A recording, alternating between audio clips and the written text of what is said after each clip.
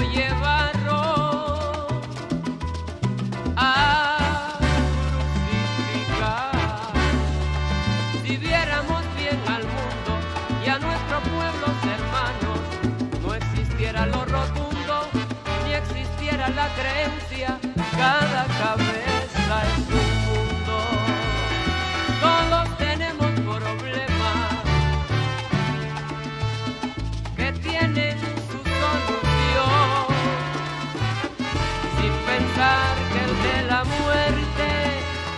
de eso se encarga el